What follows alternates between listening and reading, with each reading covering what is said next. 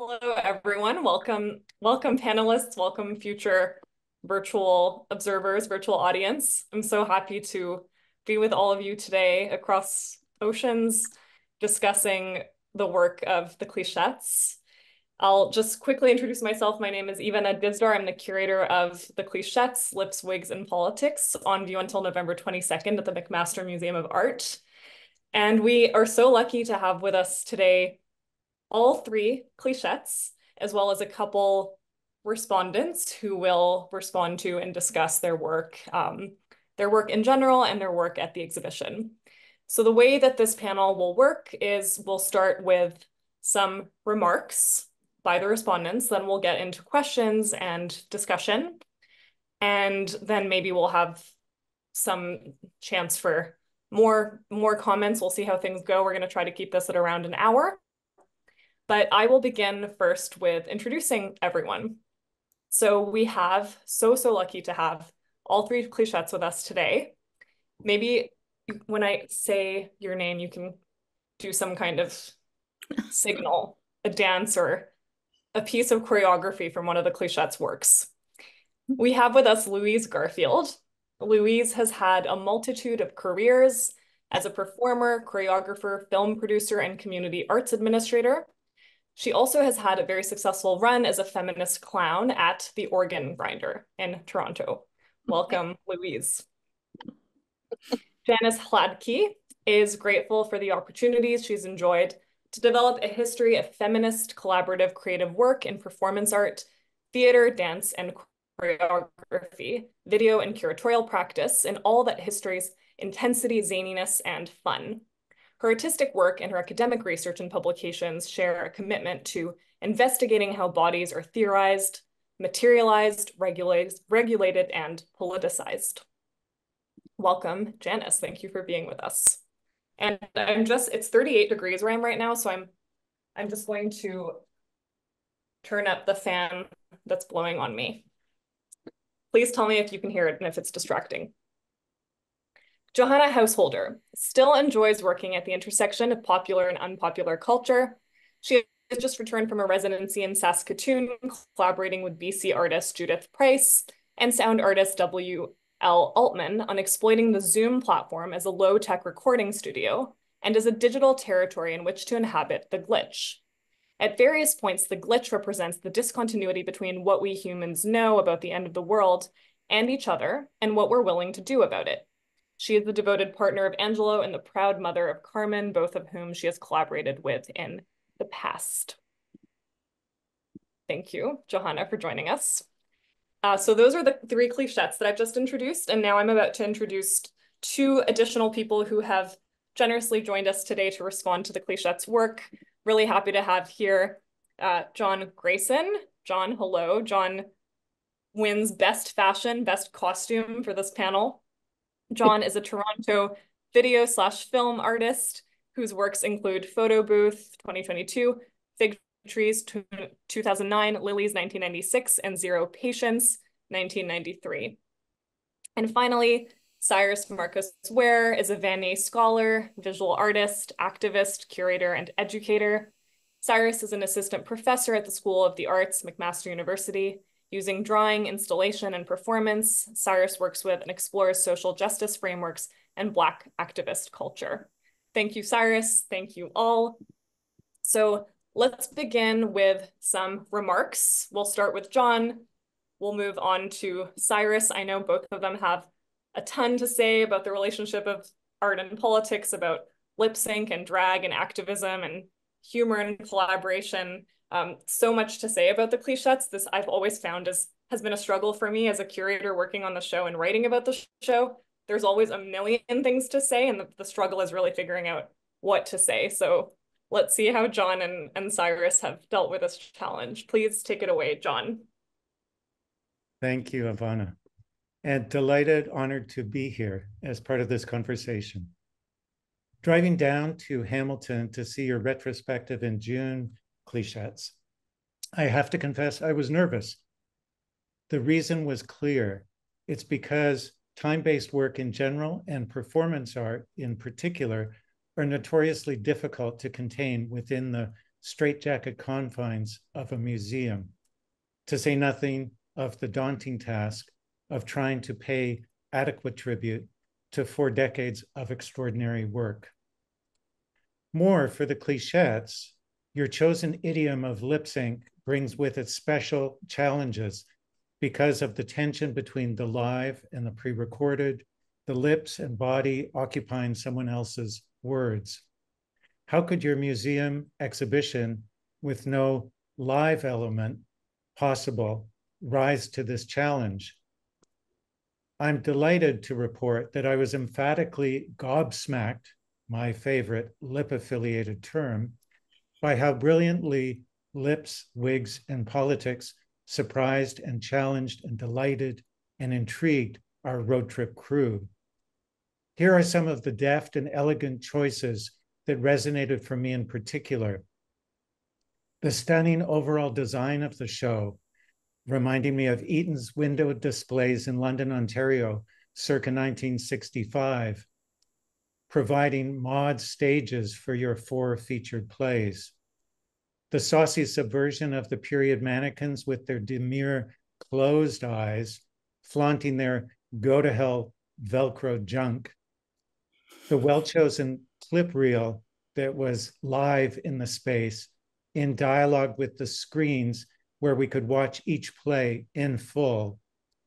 The curatorial coincidence of being in such marvelous dialogue with the shows of Lori Blondeau and Kira Bolt, the beautifully curated vitrines that captured so much extraordinary history, including a personal favorite, a thank you note from Tim McCaskell for appearing at the Body Politic Free the Press rally.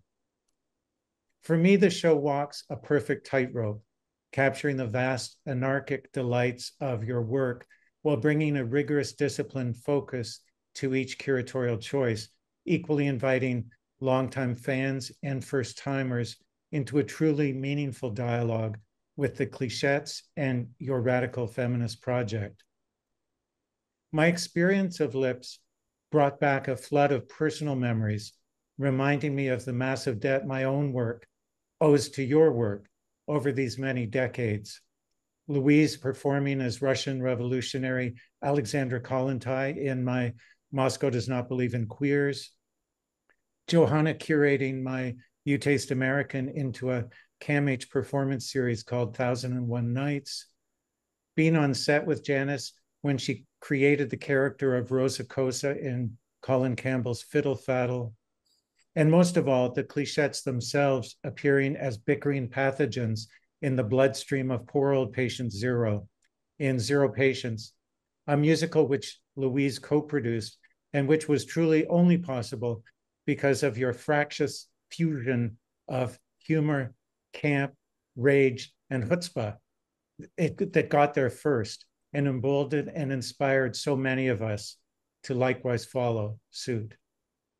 So I'm honored and delighted to have this live and pre recorded opportunity to say a heartfelt thank you, thank you, thank you, thank you, thank you, thank you, thank you, thank you, thank you, thank you, thank you, thank you.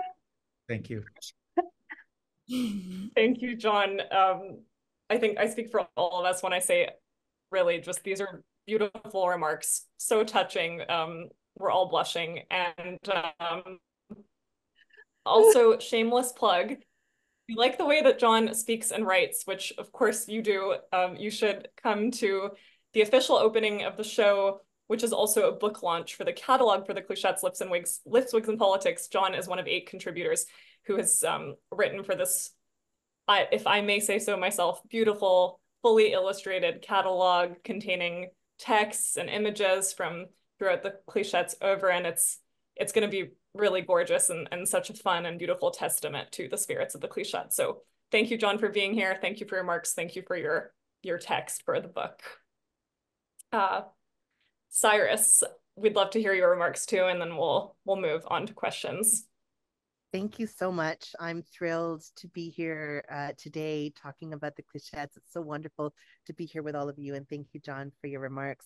I mean, 40 years of work Uh, you know, just such an incredible uh, moment. I'm struck by uh, this exhibition. I'm struck by uh, the way that we get to engage with the work, perhaps in a different context than it was originally produced. Uh, and I love that we're getting to sort of sit with the work uh, in that durational way.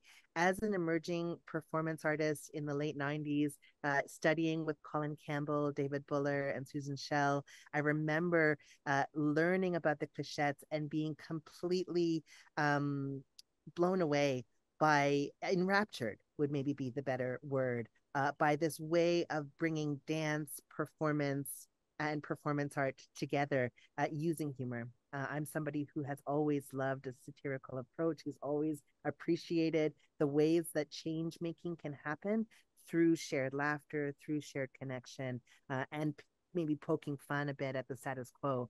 Uh, and so when I uh, found out about the clichettes, it, it, totally set me on a different trajectory in my own creative practice. So to be able to come uh, to the McMaster Museum of Art and to be able to see uh, an exhibition that really does such beautiful justice to this incredible legacy of work, uh, you know, was was was quite profound. It reminded me of these moments uh, in the 90s, um, studying and learning about what was possible. Um, as somebody who went into theater, I'm also really uh, captivated by this move between dance and moving into more theatrical works uh, in the later part of your career. And uh, yeah, so this movement between uh, dance and choreography as a main medium into more, more and more theatrical works is something that is mirrored in my own practice, moving from performance art into more theatrical spaces. And I'm really, um, I'm just captivated by this. I think about the ways that we come together in social dance uh, moments and how often there was a sort of spark of art based activism that was coming together in these moments when we were already gathering.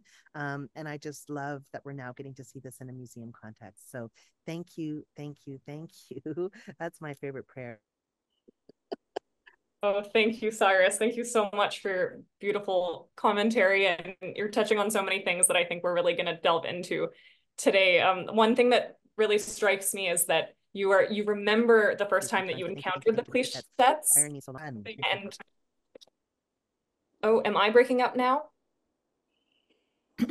no it's okay uh, i interviewed 30 plus people as i was working on this exhibition and everyone seems to remember the very first time that they saw the clichettes, whether it was live or in video format. And I'm definitely one of those people. I was um, in my very early 20s in a performance art seminar with Lisa Steele and Kim Tomczak, And I remember it truly like it was yesterday. I remember the surroundings in the room. I remember who I was sitting next to. I remember what I was wearing. Like it was just, it was such an important moment to, for me. And I think the reason everyone remembers is because you can't experience the clichettes and feel the same way that you feel that you felt before. It's like before and after Christ. It's like before and after the clichettes. Um, what were you wearing, Ivana? I was wearing, I, I'm pretty sure I was wearing my favorite pink t-shirt, which feels, which feels appropriate. Um, so with, without further ado, um, let's take it away with the questions. Um, we'll start with John and um, some of his thoughts about the power of lip sync and what it means to use. All right, thanks. In 2024, we seem to find ourselves in the midst of a lip sync re renaissance with urgent avant garde activist works of theater like Dana H or documentaries, new documentaries like any other way, the Jackie Shane story, or social media, TikTok Intifada, or performance comedy like Sarah Cooper destroying Donald Trump, all deploying lip sync today in innovative ways. So I have to ask you, Clichettes, is this all your fault? Yes. I mean, no, what I mean to say is that we'd love to take credit for all the lip sync brilliance and innovation that preceded and followed us. And I'm sure I speak for everyone um, to thank you, John, for the totally fascinating lip sync history and analysis that you've written for the catalog. Um, you're going to Uh, have to update Believe it. me, uh, fun was had. You're going to have to update it annually or uh, make a documentary. Yeah, yeah. That's my advice to you. Anyway, what I wanted to zero in on um, was, was um, Sarah Cooper. We were all um, very, very big fans of Sarah Cooper. Um, and the way she manipulated lip sync into a really powerful political takedown. She was the complete opposite of us. She was lip sync unplugged. No wigs, no costumes, no makeup, just her very skilled lip sync juxtaposed with her unadorned self, which bore no resemblance to Donald Trump. And she used the, the fact of that difference to reveal and to magnify the words and the physicality and the character of the man. It was truly fascinating to watch how discordant it was and how powerful um, it was as a message. It was brilliant. Uh, we've also fooled around um, with spoken word a little bit. Um, the 2000 year old man comes to mind, um, Elaine May and Mike Nichols uh, as examples, but um, and a couple of pieces in our in uh, She Devils of Niagara, one that Janice performed and one that I performed. Um, but just to let you know, lip sync to spoken word is a much greater challenge, much, much harder than music, than lip syncing to music. Um, and unlike Sarah Cooper, uh, when we did this, we used exaggerated visuals um, to amp up the vocal characters and the feminist critique that we were pursuing. And just to finish off, I want to tell you about a lip sync project that we had that never made the light of day. We um, we worked for quite a while on being dinosaurs on a tightrope while lip syncing the Bee Gees staying alive. But since we were not willing to get on a real tightrope, and we really couldn't figure out how to stage a fake tightrope, uh, this remains an unfulfilled goal. John, if you can help us out with that, I bet I- you. I have two words for you, green screen. Thank you. Thank you, Louise, for that really rich response. And I, I actually had no idea about this fate, unfaded, what's the word I'm looking for? This performance that never happened um, goes to show that even as the curator working on this exhibition and working with these three wonderful women for four years, I still don't know everything. And every time we talk, I learn new things. So we'll have to figure out a way to make this performance happen with John as director with a green screen. Um, and it There sounds like it would others too. There were many others that didn't see the light of day. we will have to make a list and a new publication. Um, so it sounds like this would have been an extremely comedic performance, which I think leads nicely into Syrus's question regarding humor and and comedy um, and how these are um, used and potentially misused in contemporary culture. Yeah, I mean, you have me at dinosaurs on a tightrope dancing to staying alive. Like you have me, you know? So I'm so um I'm so captivated by and, and so curious about your approach of of humor. Um, and, and I'm wondering if you could just because of course we we know the context in 2024 uh for you know understanding and thinking through the the humorous moments in this exhibition. What was the landscape and context for your humorous and satirical approach in your first few years? What drew you to humor? And I'm I am curious if you were making a new work today, maybe for this exhibition, if you were to make a new work, what funny thing would you want to do? And I'm going to answer that question, Syrus. Thanks. Uh, and I'll got a few little notes, but what immediately comes to mind are two different kinds of contexts. One is around comedy, but the other is around the politics. And so we were very caught up in feminist thought and feminist activism uh, in terms of the kind of work that we were doing in those arenas, we were all three members of the Women's Cultural Building, for example, which was not a building and was deliberately named as a building because of the idea of building culture and building uh, an address to forms of oppression, whether that was around gender or sexuality uh, and race. So that was one context or landscape for us. Uh, I like that word. And another one was we were often involved. I mean, I can't remember how many marches we were on, but as an example, uh, International Women's Day and the kind of uh, events and actions that were a part of that. And then finally, and this is something that Ivana has foregrounded so wonderfully in the exhibition, is our commitment to work at benefits, performance at benefits. And there are many.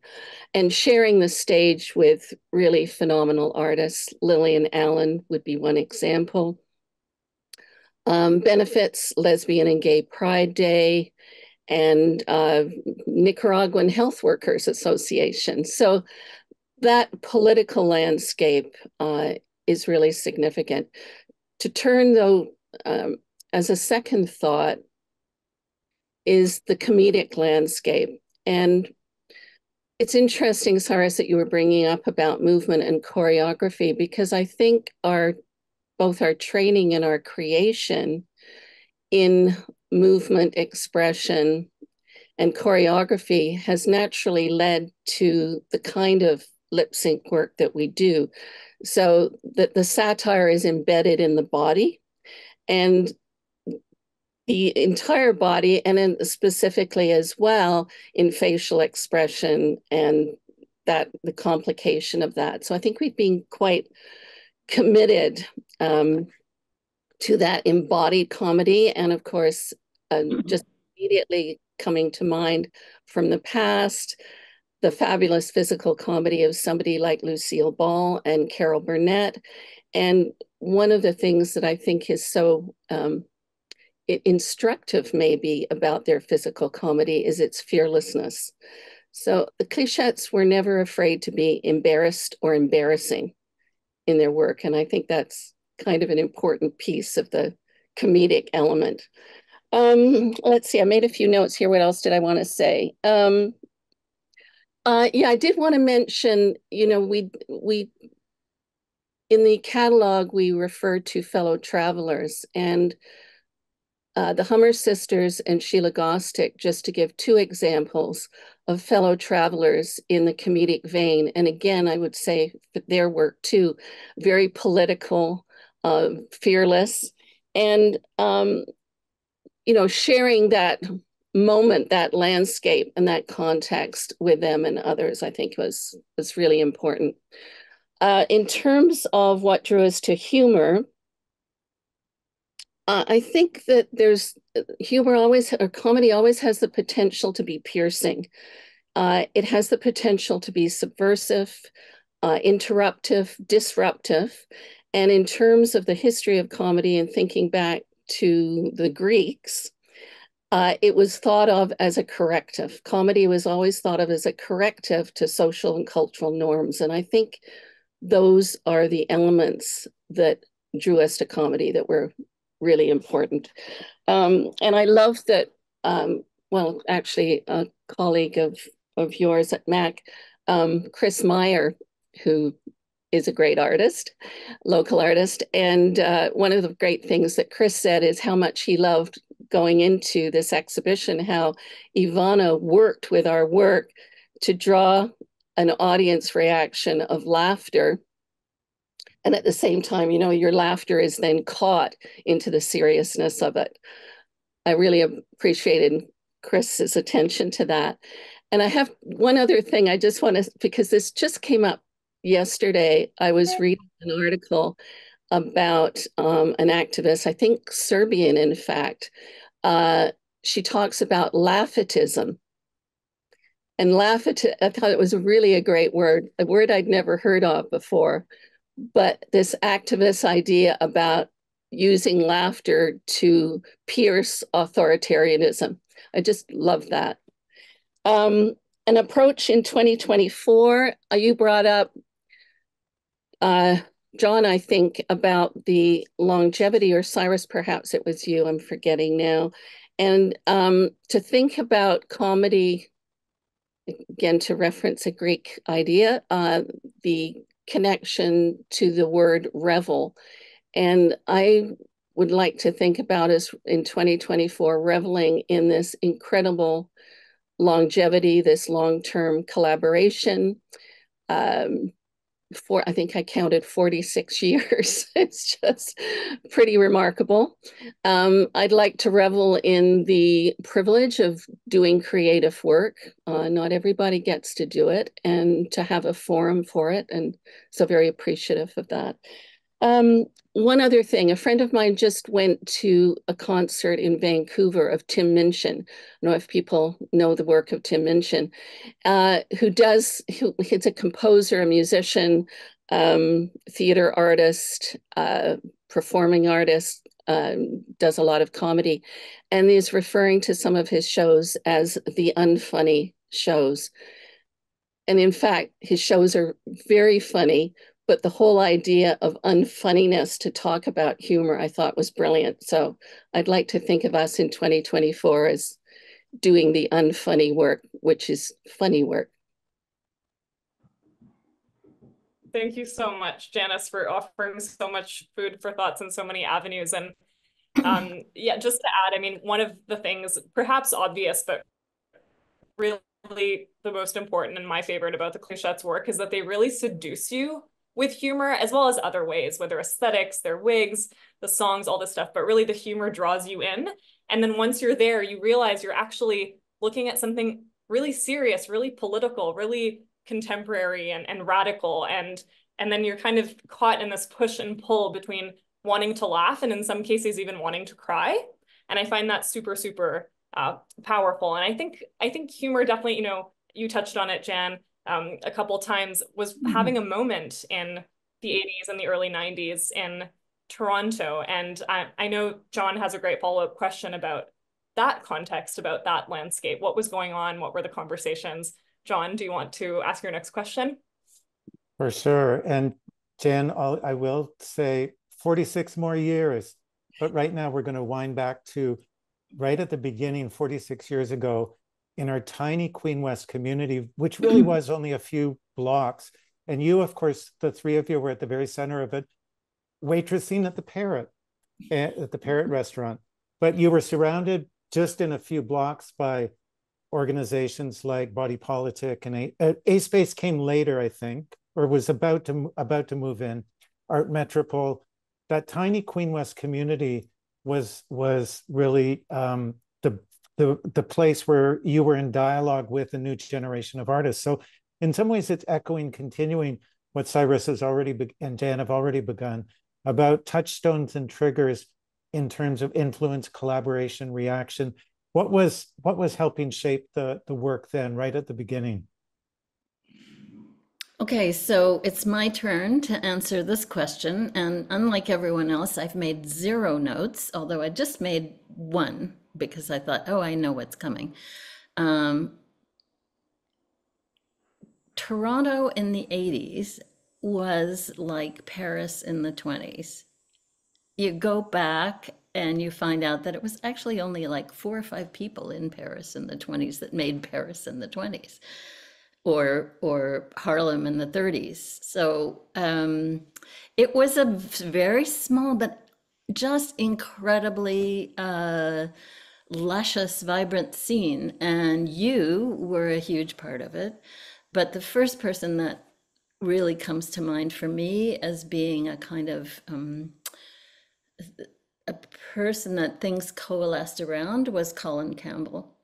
And I think that Colin's work, and we all, you know, individually and collectively worked with Colin and with you, um, and his own um, complete, often deadpan, um, you know, uh, make you laugh, cry humor, um, but really acerbic social commentary uh, was so inspirational to me personally, and I think to all of us.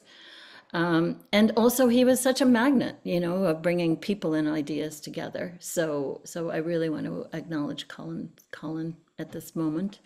Um, and of course, uh, Lillian and Clifton. Lillian, who we were are incredibly lucky, also wrote for the catalog. Lillian Allen, um, Toronto's poet laureate at the moment. So you know, from from the Cameron House to I forget what we call uh, Nathan Phillips Square. Do we call it something fancy? I don't know. Anyway, City Hall, whatever. Uh, Lillian and Clifton.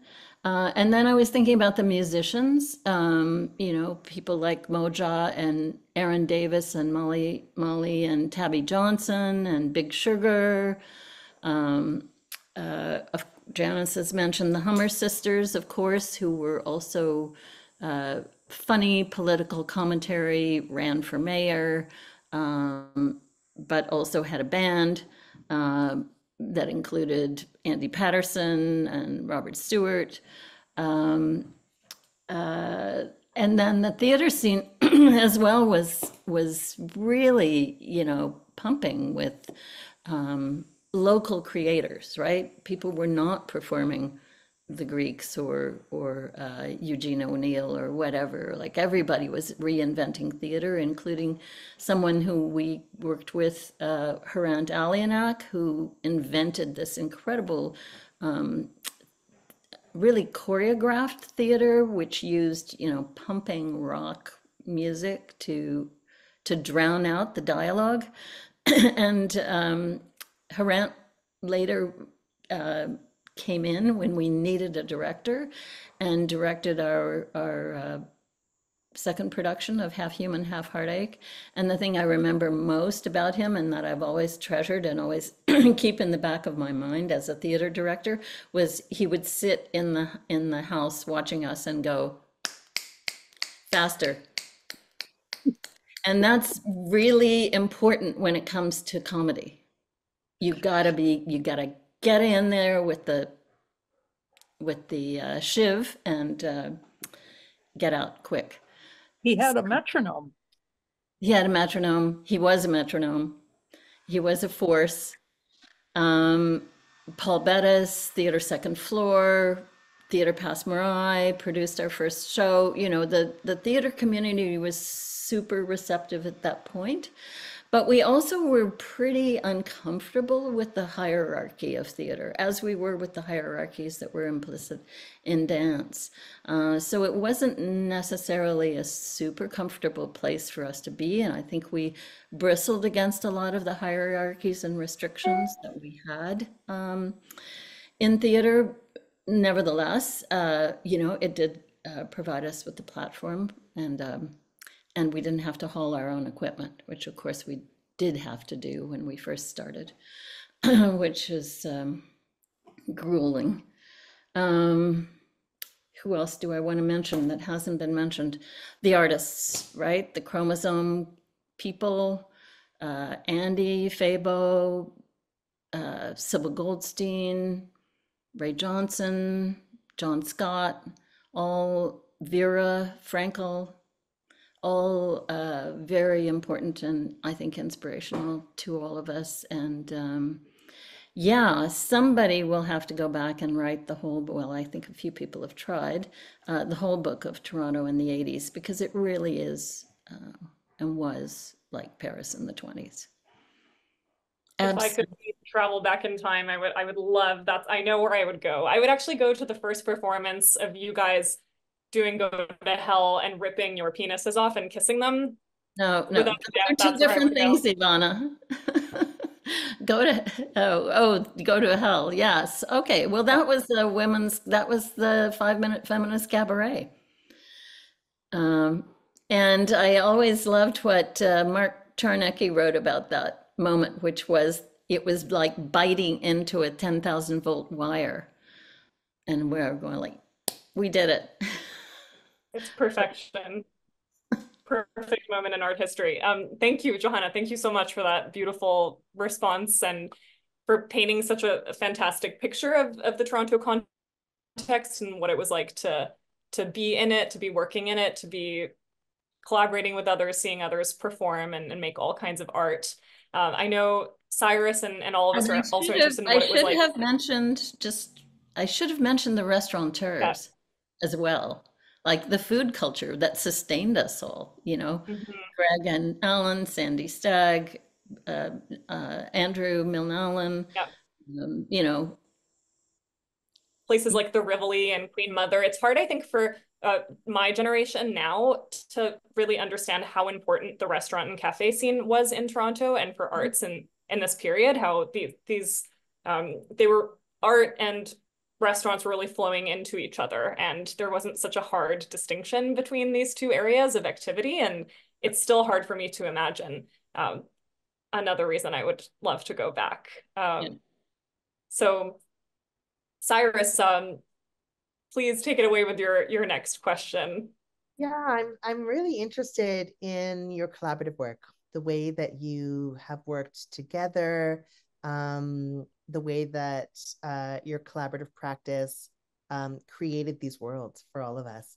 And I'm wondering what the impact or what you all feel because I mean you're also you know artists who have done um, you know other other work outside of the clichettes, and I'm just curious what would you say is the lasting impact of the clichettes on the way that you work, your ways of working, and what you create today?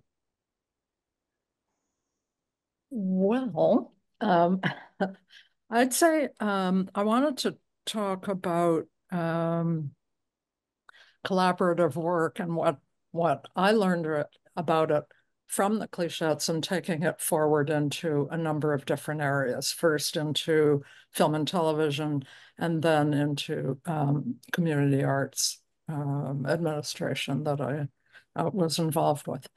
Janice and Johanna have different trajectories after um, after we stopped performing, both into universities, and you know, I uh, I, I can, I'll speak to what uh, I know about in terms of that. I know that uh, from our collaboration that to be successful, you need um, a lot of time. It's it's slower than uh, other types of uh, ways of working. You need the time to be able to do the long listening process and to have extended conversations uh, in order to get a satisfactory consensus, which may not mean 100% agreement from all the partners. So the slower you can go and the smaller you can go. We were fortunate because we were um, a small uh, group over a long period of time. So we had the advantage of being small and having lots of time. And um, when I was talking about not having 100% um, agreement from all the partners, that's important because um, I think too much compromise can lead to kind of wishy-washy um, artistic decisions and outcomes. And so when I went into a different um, type of work, it wasn't small and it didn't have the amount of time. And so going going solo or working top down um, can be easier and faster, but it's lonelier, and it and it doesn't allow for the um, uh, multiplication of ideas and the uh, strengths that you get uh, and that you uh, learn about from other trusted partners. So to try to replicate that, I, tried to replicate it as much as I could.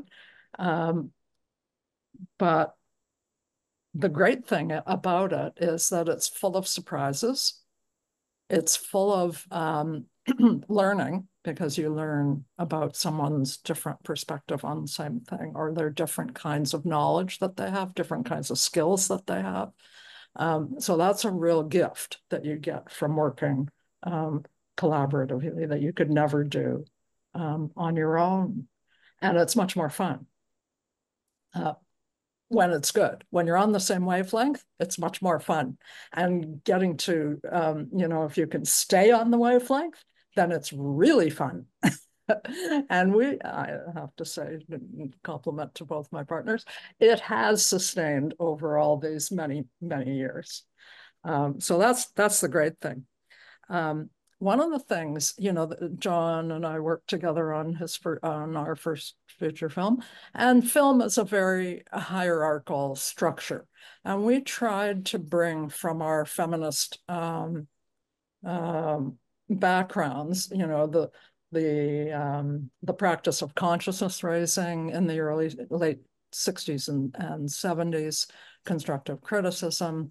Um, those were important uh, parts of the feminist movement that we tried to bring into artistic practice. But as I say, on film, in theater, um, in television, where, uh, where I worked a little bit, it's very hierarchical. So to bust that open is is tricky, especially when there's limited time and limited resources. We know that really well.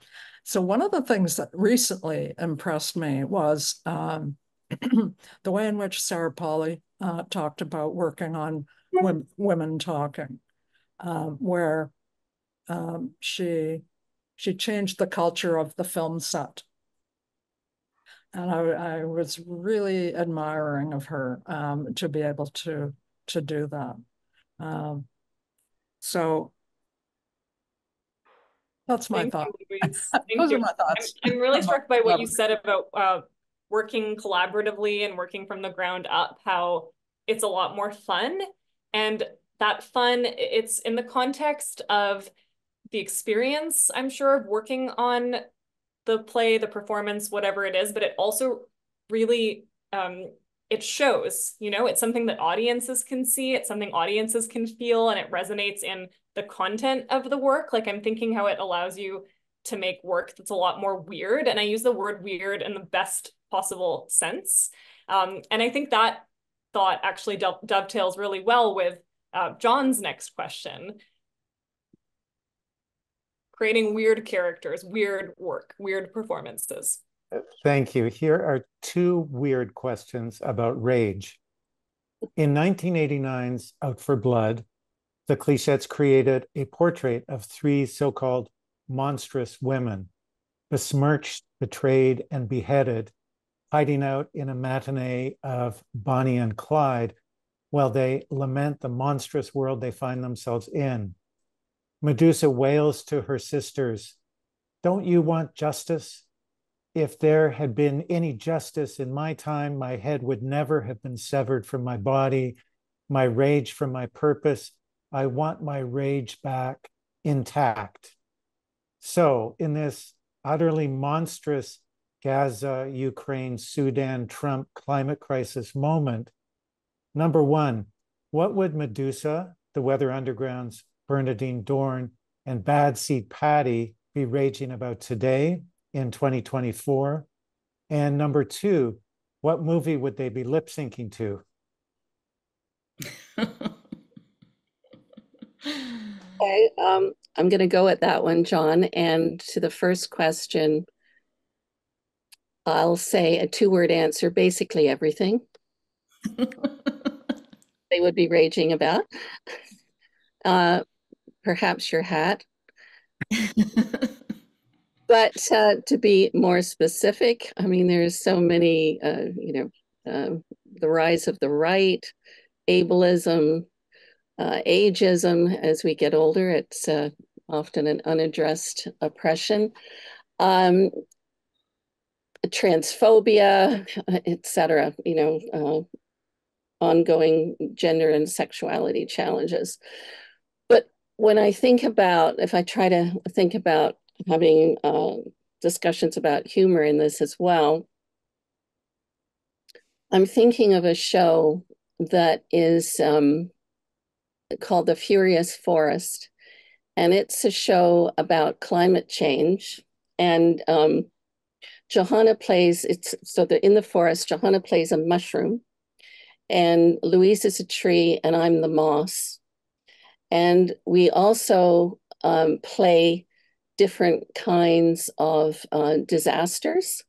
So um, we would one of us would be a fire, another would be a flood, and somebody else would be a tornado or hurricane or something like that. So the rage around uh, the future of the planet, that would be our our take on it, and with some bit of humor as well. Um, but yeah, tons to rage about. Interesting that you brought up about um, the the quote from Out for Blood about justice, because I was thinking about uh, rage in relation to uh, a future, thinking about the past, the present, and the future, and the significance of hope in relation to rage. So, to be a little bit academic for a moment, I always really loved the work of Roger I. Simon, uh, who wrote about the politics of hope. And his idea about hope was nothing to do with any kind of utopian idea. It was always about accountability and responsibility. So I think rage has to be accompanied by a sense of uh, of uh, accountability, um, and so that there's a sense of commitment to others.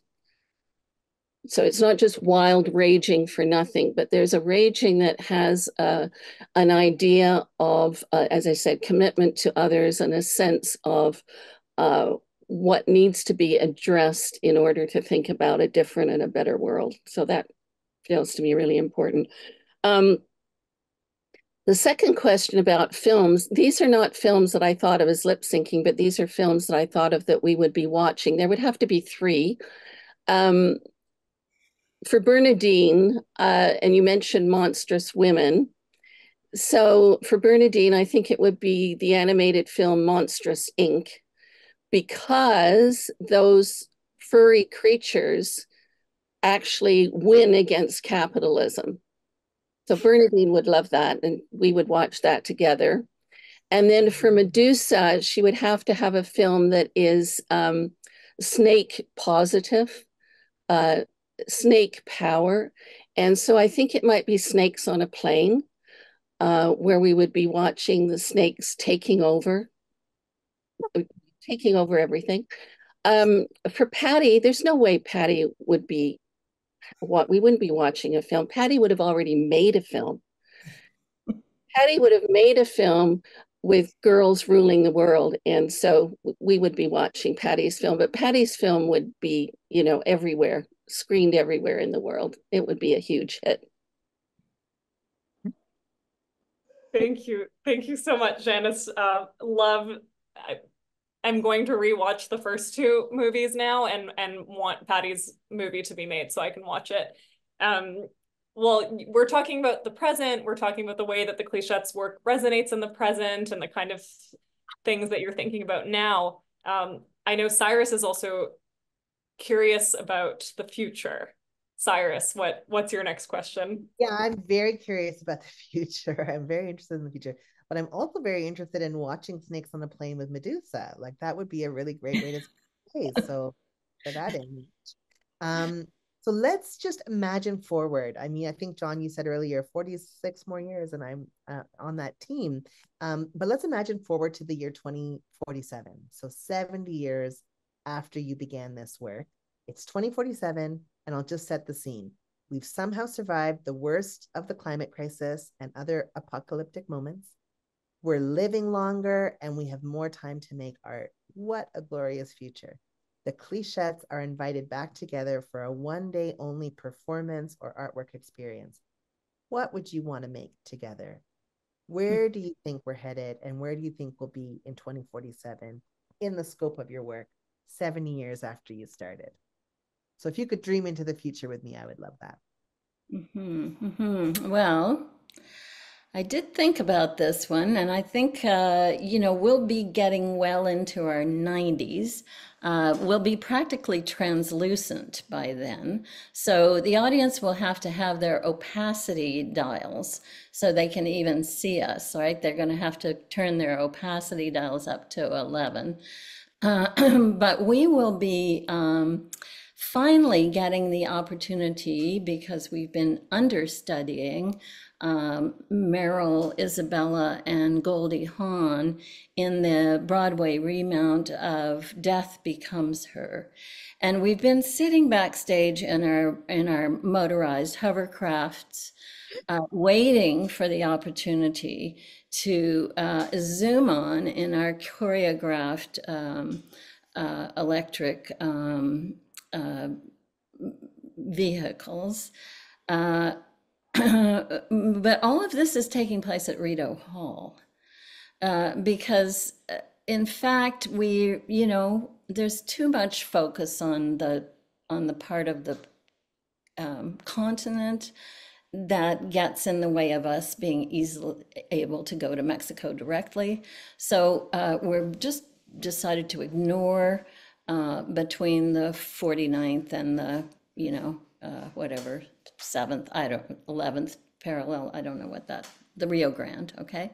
So we're just ignoring that part. We've stitched together uh, Mexico and, um, and uh, Canada. And, uh, and the new uh, prime minister, of course, the uh, conjoined twins, uh, who are ruling the country, um, uh, with Patty as um, senior advisor, I think. Uh, of course, Pat, as we all know, Patty's film turned out to be a remake of The Village of the Damned, uh, where children, you know, explode everyone with their eyeballs. But uh, that's um, that's my vision of where we'll be, um, and I do also, besides the fact that we have kind of stitched together Mexico and Canada, want to mention or return to the idea of humor because the Malahats, the Malahats make America laugh again instead of MAGA. Uh, so yeah, I just yeah, the Malahats. That's yeah, uh, that's we'll be wearing them. I want to be there with you right now, waiting in the wings, about to see your hovercrafts go on the stage with my Malahat on again. I I can't wait. Okay, dial up that opacity dial because we're we're beginning to, to evaporate. Absolutely brilliant. Thank you. Thank you, Johanna, for that. Um, does anyone have any question, a question that has come up? Anyone for anyone? Clichettes, do you have any questions for John or Syrus? Oh. I mean, we can totally end on what Johanna just said. That would be a perfect ending to this panel. So would be a perfect. It, I think that we should just end it there. Um, thank you, John. Thank you, Syrus. Thank you, Johanna. Thank you, Janice. Thank you, Syrus. Louise. Thank you, John. Thank you, Janice. Thank you, Louise. Thank you, Ivana. It was so much fun talking to you and um, seeing you. And I will see you all very soon at the opening, which again for our audience is on September 19th, I believe from 5 p.m. to 8 p.m. There will be food and drinks and a new freshly printed catalog. Um, and we're going to party really hard. Yes. Thank you. Thank you all. Really such a pleasure and honor. Such a joy.